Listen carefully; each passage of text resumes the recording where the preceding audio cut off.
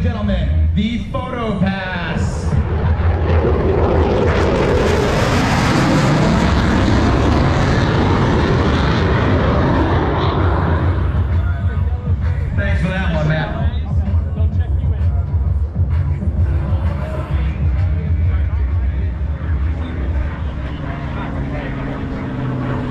As America progresses through the 21st century, it becomes increasingly important that we reflect on our nation's proud history and heritage. By remembering, appreciating, and fully understanding the